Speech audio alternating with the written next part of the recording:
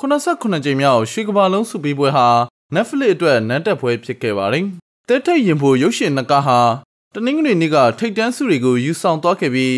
ဆမ်မန်ဒက်စ်ရဲ့နီးပညာဆိုင်ရာထူးချွန်ပြောင်မြောက်လာတဲ့ပထမကမ္ဘာစစ်ရုပ်ရှင်1917ကအကောင်းဆုံးရုပ်ရှင်ဇာတ်လမ်းဆုရခဲ့ပြီး Quentin Tarantino ရဲ့တောက်ပတဲ့ Los Angeles ပုံပြင် Once Upon a Time in Hollywood ကတော့အကောင်းဆုံးရုပ်ရှင်ဟာတာသို့မဟုတ်ဂီတဆိုင်ရာဆုရရှိခဲ့ပါတယ်။ တနင်္ဂနွေနေ့ကပွဲဟာ Missing Link က